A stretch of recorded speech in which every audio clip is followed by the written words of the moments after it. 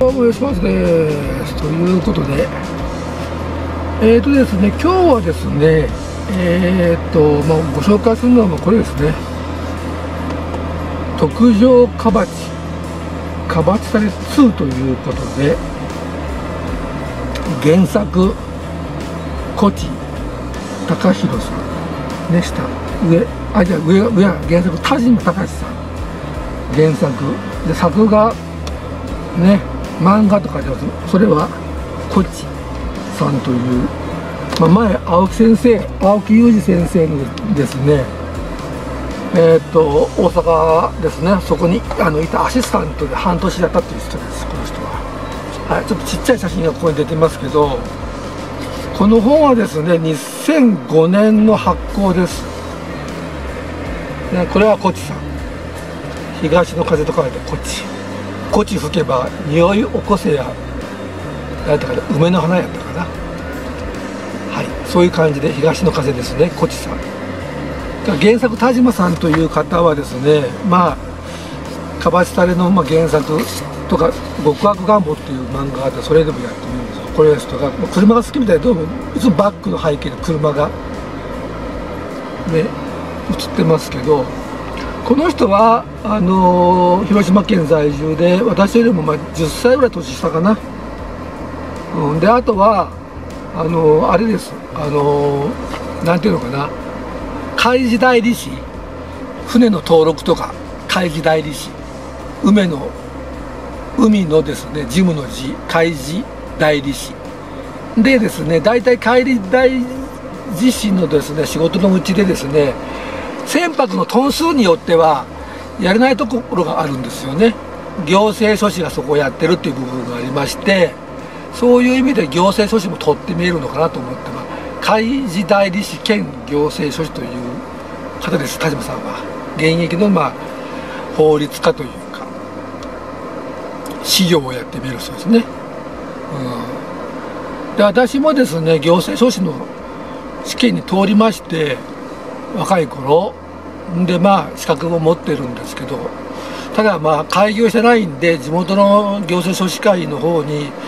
登録はしてないのでまあ事業としてはやってないんですけどね、うん、まあなんていうのかなそういう意味もあってこのカパシタというこれ主人公これ田村という行政書士の人なので、まあ、まだこの前半はですね田村さんがあの大野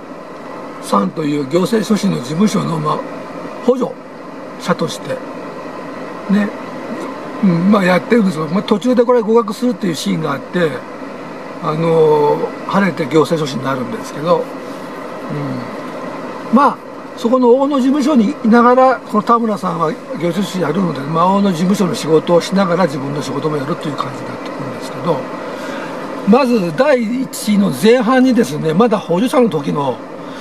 あのこう事件が書いてあってそれはあのまあたまたまこの大野事務所といつもあの連携しているあの弁護士さんがまあちょっと体調悪くしてしまってあのいない時にですねあのこの、まあ、田村さんこの行政書士の田村さんにあの保持者のね補助の人田村さんにですね、まあ、案件があの割り振られたんですけど要するに、まあ、あの債務をですねあの債務のその多重債務者みたいな人が債務を一本化してですねでまああの利息制限法、まあ、あの判例が出たんでね利息制限法で引き直して大体7割ぐらい圧縮して3割ぐらい返すというふうにしてやるというような流れだったんですけどそれは弁護士の部分だもんで弁護士のとこへ行けばいいということになったんですよ。ところがそのこの人がですねこの,、まあ、この人がですね多重債務のこの人がつてをたたどたどっていった弁護士というのがこう定型弁護士といってこの男なんですけどこれまあ弁護士なんですけど非常にたちの悪い男でしてまあ請け負うのは請け負うんだけどあとはもう補助の人間にやりっぱなしさせてこの債務者からお金を月々弁済させて自分が、まあ、払うっていう建前やるんですけど実際お金払ってなかったりしてまあちょっとこう詐欺我慢詐欺まがいの人詐欺ではないんですよ弁護士さんも。さすがにその辺はうまいけどね防御はするんですけどちょっとこううさんくさい人間というかだいぶうさんくさい人間でもこういうのに出会ってしまうとまああのこう依頼者が潰れてしまうというかね倒産してしまうとか自己破産になっちゃったりとか悪い人間なんですけどこの男がですねこの弁護士のこの男がですね非常に行政処置をバカにするんですよ。この漫画でですよ。要するに法律家の中でもまあ最下位やというようなことを言って、まあ、列位のねそういう会の下の位の会の人間になんで私あの俺みたいな弁護士が、まあ、バリバリの弁護士はこんなもん当てしないかんねんみたいなことを言って非常にバカにするシーンが結構たくさんあってこれはですねまああの今はもうそんなこと言う人は少ないかもしれませんけどやっぱり初期の頃はあったんですねそういう風潮が。うん、私は豆知らないんですけどそういう風潮があって結局のところなんていうのかなあのさそういう今はもう水平でねもうそれ各事業の司法書士とか社会保険労務士とか弁護士とかやれないようなところの部分は行政書士やってもいいってことになってるのでだからそういうところもあ要するしまあちょっとこう灰色ゾーンみたいなところでやったりとかということもだかあるらしいんですけど、まあ、でもそれはでも行政組織今まで積み上げてきて実績積み上げてきてやってる部分なんであの素晴らしいし各事業はそれぞれ各ね商社とか各事業の人たちはその水平で平等であってどこの事業の人がその上に立つとかこの事業の人間はこの下に立つとかっていうことではなくってもう水平だと思うんですよ。私自身はそういうふうにずっと思っていたいし思っていたあのまあなんとかそういう理想だというふうに思ってたんで。ところがこの漫画を見ると露骨にですね、まあ、2005年今から16年前なんですけどこの漫画の発行日。露骨にこう寄せ書士をこうバカにするシーンがあるんですね弁弁護士が。うん、でやっぱさすがに弁護士というのは、まあ、あのその訴訟なんかも起こしたりとかいろいろやってきているということもあってあのかなりま強い立場にあるということなんですけど、まあ、それをまあこっぴどくこの田村があのやってるという、まあ、全然痛快なシーンがあるんですけどあのまあこれに書いてあるような行政書士はまあちょっとね実際問題これ漫画の話という部分もあって実際はまあもっと地味な仕事でコツコツやってるということが多いんでと思うんですけどね。あただ事業としてはですねそんなに別に劣等感を持つというのは私はちょっとね寂しいなと思うんですけど、まあ、この本にはそういう漫画としてね、まあ、この田村さんはそんなレレとか持ってないですよ。やりがいと誇り持ってる人間なので。これが私は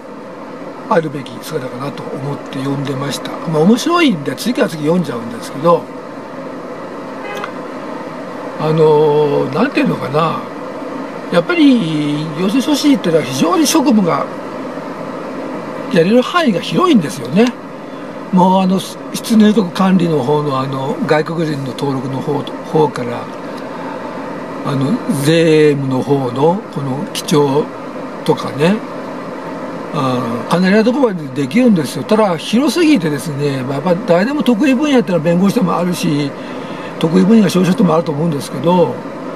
なかなか絞るのがちょっとこれ読んでたらちょっとこれ絞って特別にやるとなるとやっぱり大都会？東京大阪名古屋神戸とか横浜とか福岡とか広島とかああいうとこじゃないと無理っぽいかなと思うまあ岐阜県でいうと岐阜市っていうとね自分の住んでるなかなかまああの私の知ってる人はまあ大体一つに絞って一つか二つに絞ってやってますけどそれは昔の仕事の流れであの客がいるからということでやってるだけで。なかなかこれかなり広い分野なもんでちょっと開業ってなるとちょっとまあ難しいのかなという、まあ、自分にとってはですよ。もうそれで一生懸命やってる方は岐阜県でももう何十人も見えますけどちょっと、今のところってまあかなり魅力的な感じはしますけどねこれ読んでると。うん。だから、まあ、行政書士の人がですね、まあ、頑張って本当に活躍する漫画ですのでカバチタレというのは。今カバチタレ2でなってるもんで、まあ、5つでいうシーズン1があとから2ですねシーズン2と。極上カバチという名前になってますけど、まああのー、今年ですね春に私はその最近行政書士去年開業した人のところへ知り合いの人のところへ行って聞いてきましたけどお、うんあ一昨年か。いやあ去年か。去去年の夏頃行ったのかな。聞いてきましたけどまあやっぱりちょっと食べていくにはちょっとどうかなっていう感じもしました。その人の仕事仕事の内容で言うと、うん、まあいろいろ事情があって開業されたという部分があるので。あのまあででもあの本当にやる気のある方が見えると思うんで、うんはい、そんなでね私としてはちょっとこう非常にこう痛快で気持ちのいい漫画です、まあ、あの行事阻止とか資料ねあの興味のある方が見えましたらね是非ね読んでみてください。ではまた皆さん次回またねお会いしましょう。これくらいプライド持っていきたいですね。はい。ではまた皆さん次回。またお会いしましょうということ